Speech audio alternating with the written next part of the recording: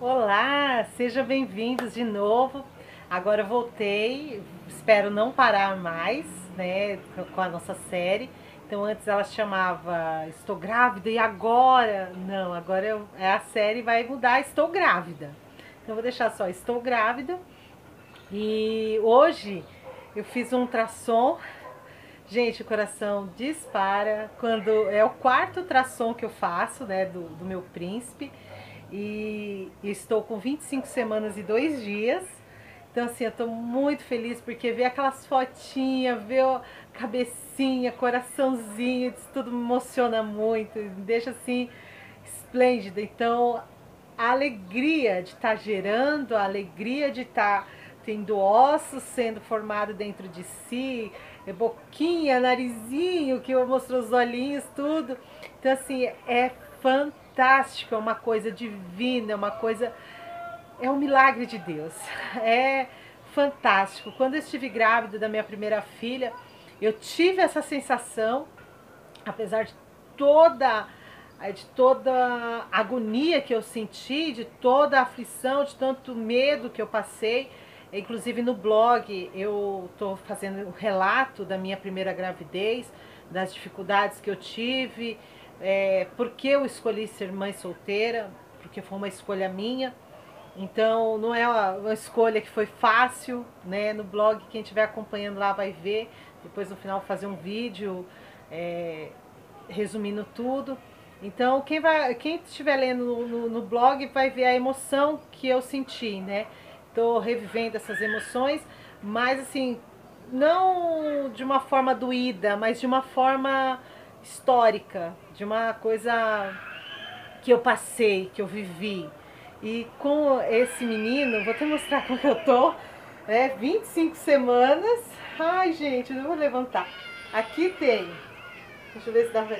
Aqui tem 800 gramas e 30 centímetros. E, e é um menino.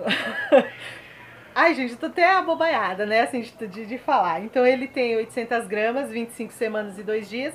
Tem 800 gramas já e tá com 30 centímetros.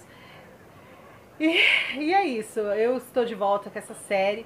Tem muita gente me perguntando sobre chá de bebê. Gente, eu não sei fazer isso, eu não sei nem o que, que uma criança precisa. É, o pai comprou uns pagãozinhos, né? Coisinha fofa. Acho que vou até mostrar pra vocês.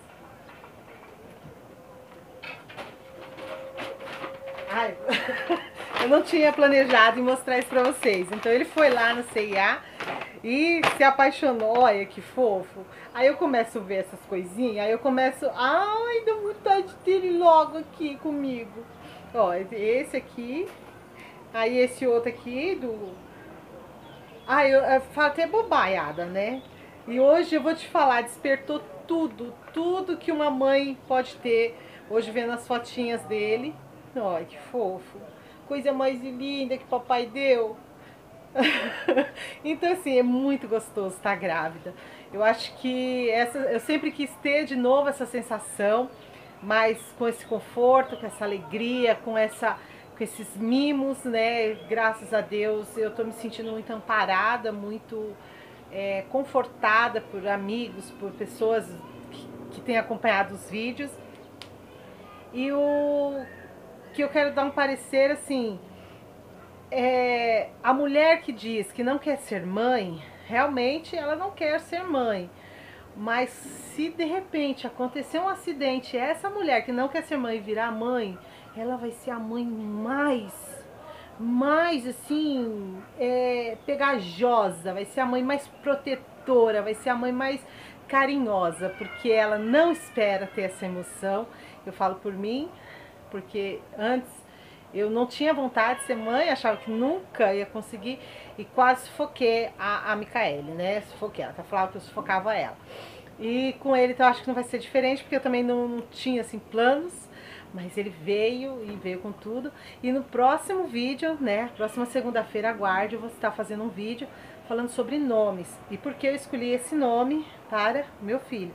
Até hoje, durante toda a minha vida, eu só conheci uma pessoa que tem esse nome, depois que eu engravidei, antes, quando eu conheci o Pedro, eu falei, se algum dia a gente tiver um filho, ele vai se chamar. E aí, é, a gente começou a trabalhar numa empresa e o dono dessa empresa tem o mesmo nome do nosso filho. Aí eu falei, ó, não vou mudar, porque esse nome tem um significado, tem todo um, um tem todo um significado, tem todo uma, um, um milagre de Deus nisso. E realmente ele está vindo com esse nome, resta é, restaurando minha vida, fazendo a minha vida viver isso, né? E aí no próximo vídeo, hoje eu tô meio aceleradinha, assim, porque eu nem esperava fazer esse vídeo, mas eu tenho que dar um parecer das minhas 25 semanas. E o próximo vídeo eu vou estar mais calma, mais, menos eufórica, menos feliz, menos explosiva, assim, né? Porque eu tô muito, muito, muito. Eu não tô me aguentando de tanta felicidade de ter visto as fotinhas do meu príncipe.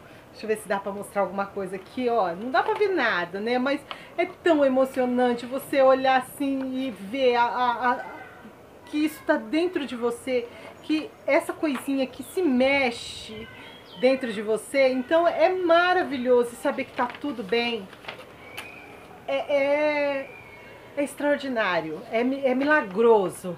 Eu tô, me sinto mais próxima de Deus, me sinto mais perto do Senhor, sabe, do Criador. Isso é fantástico. Eu quero agradecer vocês que têm visualizado, vocês que têm me cobrado os vídeos, né? Que eu fiquei um mês sem, sem postar vídeos. E espero que vocês continuem curtindo, compartilhando, ai, me abençoando, orando por mim. Eu me sinto muito amada por quem tem acompanhado meus vídeos. E assim, as mensagens de vocês durante esse mês que passou, que eu tive que passar por uma restauração devido a alguns, algumas notícias ruins, né? De pessoas que. Que na, na vida da gente, a gente tem muita gente querendo ver a gente bem, mas tem quem quer te ver no buraco e faz de tudo para te ver cair. Mas essas pessoas a gente só tem que desejar que Deus as converta, que Deus cuide delas e que elas venham sentir esse amor de Deus que a gente sente, né? Porque mesmo passando pelo vale da sombra da morte, a gente tem que ficar firme sem temer, porque Deus é conosco. E é isso.